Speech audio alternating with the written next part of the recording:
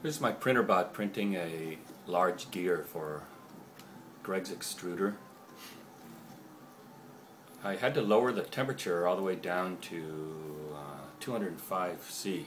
Um, I'm not sure if it's a calibration problem with my thermistor or what's going on, but anyway, um, I was getting some bubbling and, and it was very rough before when I was printing at 230 and I tried going lower and lower. Actually, I printed the small gear at only 195 C, um, but when I tried to print this big gear, you can see here, um, it started lifting off the. Uh, know, this, the layers were separating, and it seems like they weren't sticking properly. So I went from 195 up to 205 for this print. I'm printing it quite slowly right now. Um, the perimeters are only 15 millimeters a second. Um, I tried 30 before, and uh, basically the vibration of this thing is just was making it a little bit too rough for my taste. But at 15, it's quite smooth. My infills are actually going at 50 millimeters a second.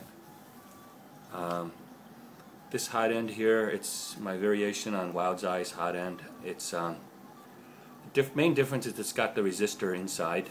Um, I mean, it's got one of those uh, cylindrical resistors instead of the aluminum tape-on one that he uses. And um, also, I cut off the brass tip a bit. Um, the way this one's assembled, actually, um, you can actually unscrew the parts and take them take it apart.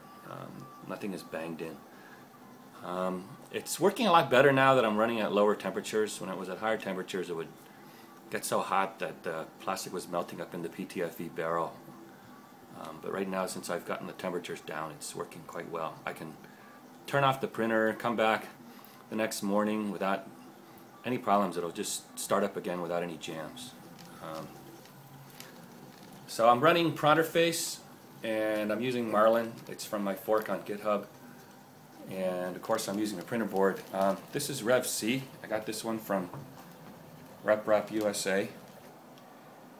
Um, this one here, this is the old Printrboard. I was using this one. It's uh, Rev B. It was sent to me by um, Kang in Korea. Uh, the new one, you can see that the well, I mean, they made some changes for manufacturing. Uh, the main difference is that uh, I mean, that you can see here, though, is just that the connectors are vertical instead of horizontal. Um, otherwise, um, not much difference between these boards. You can see I don't have any heat sinks on it the board's actually it's four layer. It's got enough. Uh, it's got enough um, thermal dissipation built in that you don't have to put any heat sinks on because the heat sinks actually actually the heat is actually um, it, there's a, the die is exposed on the bottom, so it's actually better to try to suck the heat away from the bottom of the chips. Um, you know, here we go again. Um, seems to be doing quite nicely right now. As you can see, I'm painting, uh, printing on an ABS bed.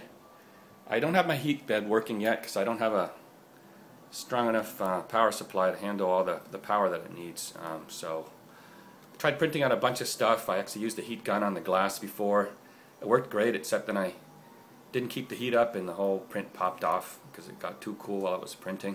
Um, I've been having some pretty good success with printing on ABS. It's not great because the ABS warps a little bit as it heats and um, well the hot end kind of digs these grooves into it because of the heat. Um, but uh, it's pretty easy to separate the prints generally. I just bend the ABS a little bit and it just pops off. This is the biggest print I've done so far though so hopefully this one's gonna pop off just as well